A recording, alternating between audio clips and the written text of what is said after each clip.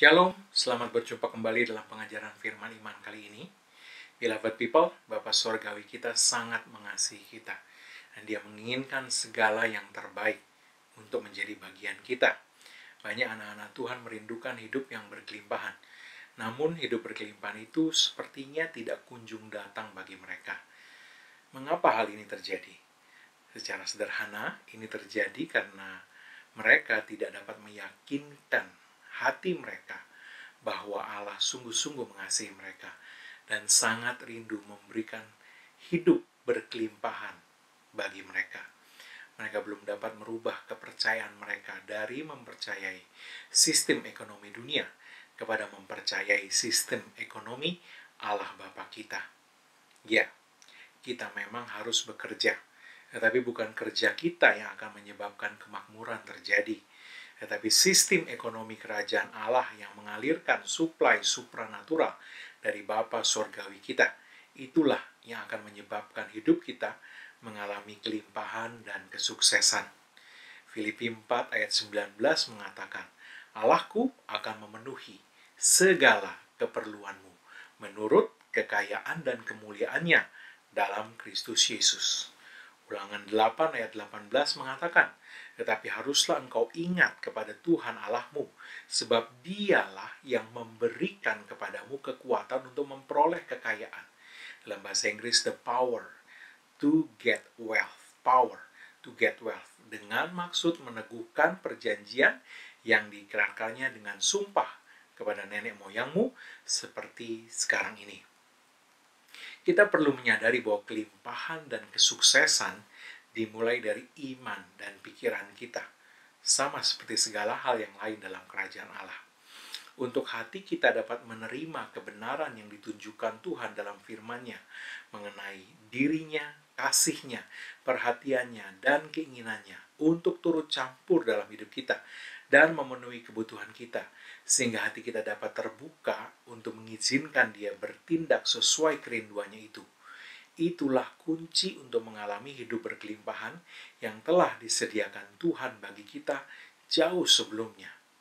Yohanes 10 ayat 10 mengatakan pencuri datang hanya untuk mencuri dan membunuh dan membinasakan. Aku datang supaya mereka mempunyai hidup dan mempunyainya dalam segala kelimpahan. Bapak Ibu saudara dikasih Tuhan mengetahui ayat ini tidak sama dengan membuka hati kita untuk sungguh-sungguh mempercayai hal ini dan mengizinkan Tuhan melakukan kepada kita secara pribadi, membuat hal ini terjadi dalam hidup kita.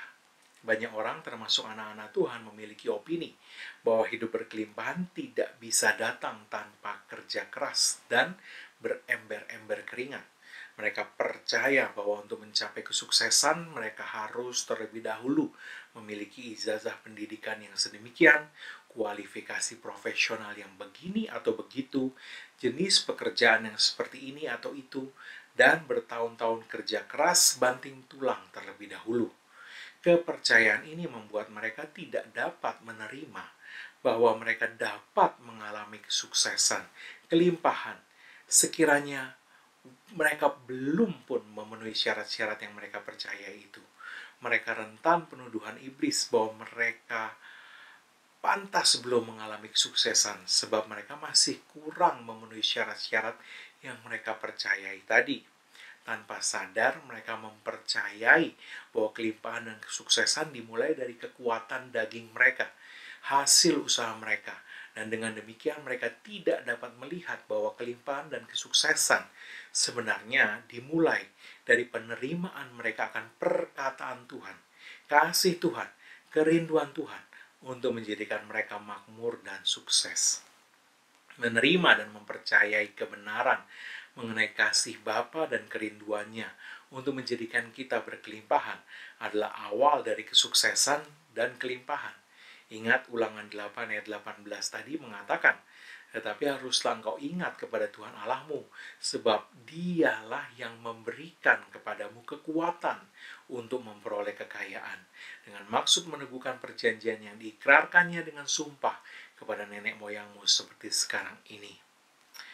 orang-orang ini tidak bisa menerima bahwa Tuhan bisa memberikan kepada mereka kelimpahan tanpa susah payah yang dipercaya dunia sebagai kunci hidup berkelimpahan. Bukankah Amsal 10 ayat 22 mengatakan berkat Tuhanlah yang menjadikan kaya, susah payah tidak akan menambahinya. Sekali lagi memang kita harus bekerja, namun kepercayaan yang mendasari kerja kita akan menentukan pengalaman hidup yang seperti apa yang akan kita alami dalam hidup kita. Dunia dan roh kemiskinan yang bekerja di dalamnya ingin agar kita mempercayai bahwa ada proses natural menabur, menuai, mengumpulkan, disertai dengan menunggu, bersusah payah, dan disertai juga dengan stres sebelum akhirnya kehidupan yang berkelimpahan itu dapat datang.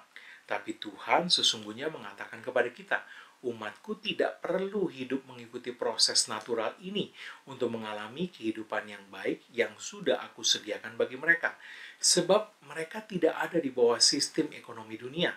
Mereka adalah warga negara kerajaan sorga dan mereka dapat menikmati operasi sistem ekonomi kerajaan sorga, menikmati kehidupan di bawah sistem ekonomi kerajaan sorga, dan melihat aku memberikan kepada mereka hidup berkelimpahan itu segera dalam hidup mereka. Yesus mengatakan dalam Matius 6 ayat 26, Pandanglah burung-burung di langit yang tidak menabur dan tidak menuai dan tidak mengumpulkan bekal dalam lumbung, namun diberi makan oleh Bapamu yang di sorga. Bukankah kamu jauh melebihi burung-burung itu? Burung-burungkah yang sedang Yesus bicarakan? Bukan. Yesus sedang berbicara mengenai kita, orang percaya, anak-anak Allah, dan segala kebutuhan hidup kita. Dengan jalan yang sama seperti Tuhan memberi makan burung-burung yang tidak menjalani sistem ekonomi menabur, menuai, mengumpulkan yang dipercaya dunia, Tuhan mau dan pasti akan bahkan lebih banyak lagi memberkati, menyediakan untuk kita anak-anaknya. Perkataan Yesus, bukankah kamu jauh melebihi burung-burung itu?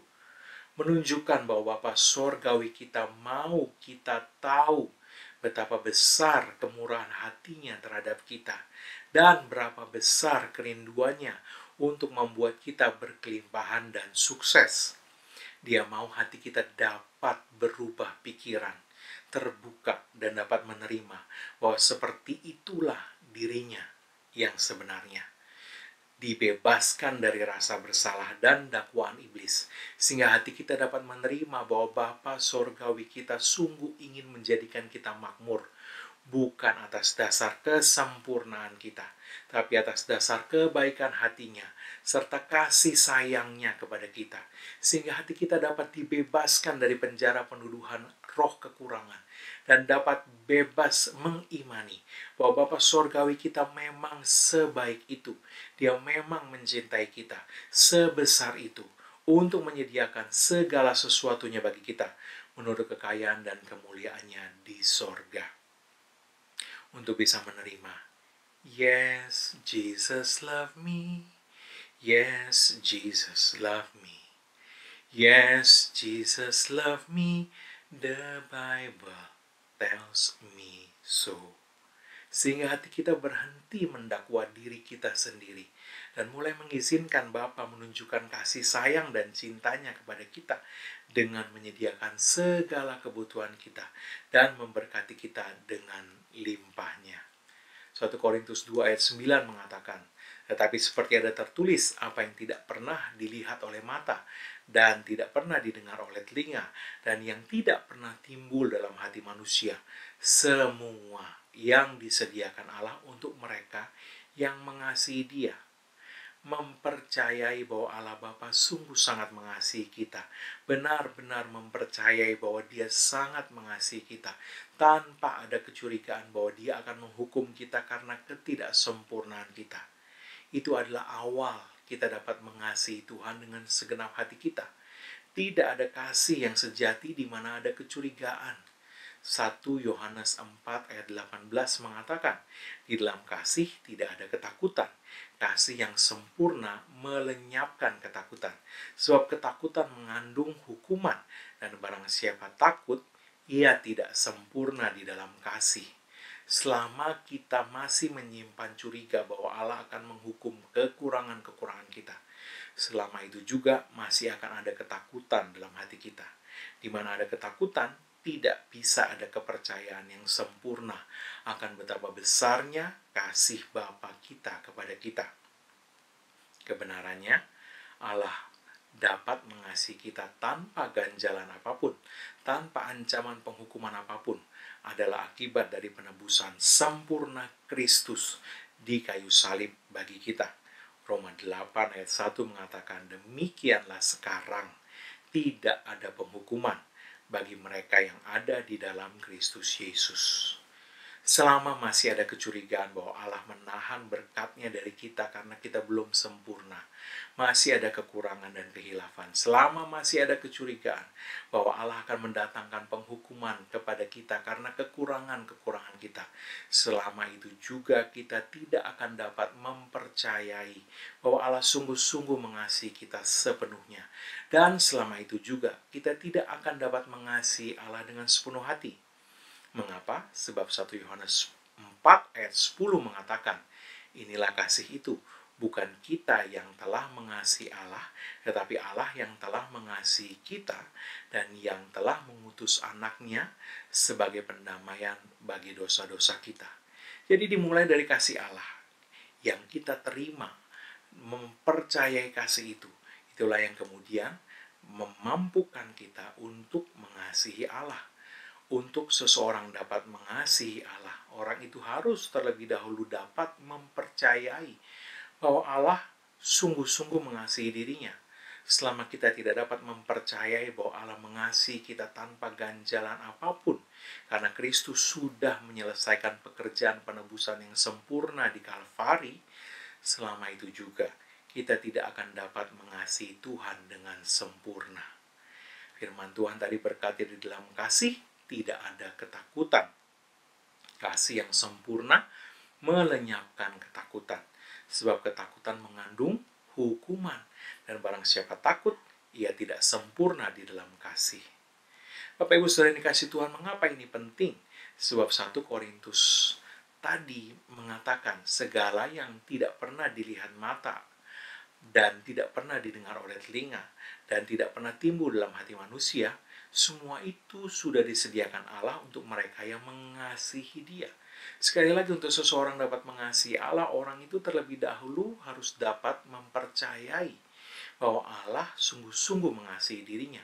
Jadi, mempercayai bahwa Bapa sungguh-sungguh mengasihi kita dan Bapa surgawi kita memang sebaik itu, memang mencintai kita sebesar itu untuk menyediakan segala sesuatunya bagi kita menurut kekayaan dan kemuliaannya di sorga adalah awal. Ini adalah awal dari segala kelimpahan dapat mengalir ke dalam hidup kita. Tidak menurut sistem ekonomi dunia, tapi menurut sistem ekonomi kerajaan Allah. Hanya dengan percaya yang benar itulah hati kita dapat lepas bebas membiarkan Allah memberkati kita sebebas-bebasnya tanpa ganjalan rasa bersalah yang tanpa sadar akan membuat hati kita mendakwa diri kita sendiri sebagai orang yang tidak layak diberkati. Dan ini kemudian tanpa sadar akan menyebabkan hati kita tidak dapat mengimani bahwa Allah dapat dan akan pasti memberkati kita serta membuat kita berkelimpahan sebagaimana Dia lakukan itu bagi burung-burung yang tidak menabur menuai dan mengumpulkan menurut sistem ekonomi dunia dan bahkan memberkati kita jauh melebihi burung-burung itu. Bapak Ibu Saudara dikasih Tuhan, Tuhan mau kita tahu dan terlebih lagi percaya bahwa sebagai anak-anak Allah, warga negara kerajaan Allah, keuangan kita tidak berada di bawah sistem ekonomi dunia.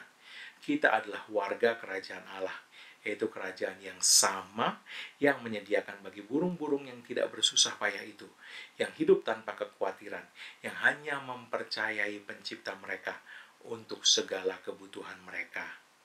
Oleh 1 ayat 12 sampai 14 mengatakan, dan mengucap syukur dengan sukacita kepada Bapa yang melayakan kamu untuk mendapat bagian dalam apa yang ditentukan untuk orang-orang kudus di dalam kerajaan terang. Ia telah melepaskan kita dari kuasa kegelapan dan memindahkan kita ke dalam kerajaan anaknya yang kekasih. Di dalam dia kita memiliki penebusan kita, yaitu pengampunan dosa. Jadi kita sudah dilepaskan dari wilayah kerajaan kegelapan, wilayah sistem ekonomi dunia ini untuk menikmati sistem ekonomi kerajaan Allah. Dan itu semua terjadi karena Yesus Kristus yang telah menebus kita. Sehingga kita telah beroleh pengampunan dosa. Kita telah dilayakkan untuk mendapat bagian yang ditentukan oleh Allah Bapa kita untuk setiap orang kudus di dalam kerajaan terang. Jadi Bapak Ibu Saudara yang dikasih Tuhan berubahlah dalam pikiran Anda. Yakinlah bahwa di hati Bapak Sorgawi kita, anda jauh, sangat jauh lebih berharga dari burung-burung yang ada di udara itu. Percayailah kasihnya. Percayailah bahwa karya penebusan Kristus telah sempurna, melepaskan kita dari segala penghukuman dan membebaskan hati kita untuk membiarkan Tuhan mencintai kita dan menyediakan segala sesuatunya bagi kita, serta memberikan kepada kita kelimpahan dan kesuksesan tanpa kesusahan dan tekanan sistem dunia ini. Berubahlah dalam hati dan pikiran kita. A change of mind, metanoia, sehingga hati kita bisa mempercayai Tuhan sedemikian. Sehingga hati kita, sekali lagi hati kita dapat dibebaskan untuk membiarkan Tuhan mencintai kita dan menyediakan segala sesuatunya bagi kita. Akhirnya, jangan lupakan apa yang telah kita pelajari selama beberapa minggu ini untuk kita terus menyuarakan firman Allah, baik untuk kelimpahan, kesuksesan, kesehatan ilahi, dan hal-hal lainnya. Kita sepakat dengan firman Allah dan mengucapkan apa yang firman Allah itu katakan mengenai segala sesuatu yang telah Tuhan sediakan bagi kita, anak-anaknya. Ingat bahwa akses kita kepada segala hal dari kerajaan Allah adalah lewat iman. Dan iman timbul dari pendengaran akan firman Tuhan. Dan kuasa iman dilepaskan dengan perkataan. Karena itu jadilah konsisten dalam perkataan dan iman kita. Dengan terus memperkatakan apa yang Tuhan katakan mengenai kita dan warisan kita sebagai anak-anaknya. Haleluya. Amin. Sebelum kita menerima doa berkat, saya akan berdoa untuk semua yang sakit dan untuk segala kebutuhan tiap-tiap Anda. Mari buka kedua tangan kita di hadapan Tuhan setiap kita yang mungkin sakit hari-hari hari ini. Dalam nama Yesus, aku perkatakan bahwa oleh bilur-bilur Yesus kamu sudah sembuh. Karena itu, dalam nama Yesus, iblis, hentikan segala pekerjaanmu, angkat setiap gejala yang kamu coba tunjukkan untuk membuat anak-anak Tuhan percaya bahwa mereka masih sakit, percaya bahwa firman Tuhan tidak bekerja dalam hidup mereka. Angkat semua gejala itu dan pergi menyingkir dari tiap-tiap orang dalam nama Yesus. Aku perkatakan kesehatan ilahi yang sempurna, kesembuhan sempurna, pemulihan sempurna. Dalam nama Yesus aku hancurkan pekerjaan roh sakit penyakit dari hidup tiap-tiap orang dalam nama Yesus. Jadilah sembuh karena ada tertulis oleh bilur-bilur Yesus, engkau telah sembuh. Dalam nama Yesus aku perintahkan ini. Amin. Haleluya. Bagi Anda yang memiliki kebutuhan apa pun yang mungkin Anda rindukan hari-hari ini, mari sekali lagi buka kedua tanganmu. Dalam nama Yesus, sesuai dengan apa yang tertulis, Allahku memenuhi segala kebutuhanmu menurut kekayaan dan kemuliaannya dalam Kristus Yesus. Karena itu, dalam nama Yesus, iblis hentikan segala pekerjaanmu mencuri dari hidup umat Tuhan ini. Dan dalam nama Yesus, malaikat-malaikat Tuhan, pastikan bahwa segala suplai supranatural sorga yang dibutuhkan oleh setiap orang sampai kepada mereka dalam nama Yesus. Allahku memenuhi segala kebutuhanmu, tidak menurut kekuatanmu, sumber dayamu, tidak menurut sistem ekonomi dunia, tapi menurut kekayaan dan kemuliaannya dalam Kristus Yesus. Dalam nama Yesus, jadilah berkelimpahan. Amin. Haleluya. Bapak Ibu Saudara dikasih Tuhan, jika Anda memiliki permohonan doa atau kesaksian yang Anda rindu bagikan, sampaikan kepada kami di alamat email ini. Dan kami akan mendukung Anda dalam doa dan kesaksian Anda akan memberkati banyak orang. Haleluya. Kita akan menerima doa berkat. Mari sekali lagi angkat kedua tangan kita di hadapan Tuhan dalam nama Yesus. Karena apa yang Yesus Kristus telah kerjakan bagi kita di kayu salib karena curahan darahnya. Karena penebusannya sempurna. Maka sekarang tidak lagi penghukuman bagi setiap orang yang ada dalam Kristus Yesus. Engkau telah ditebus dan harganya telah dibayar lunas.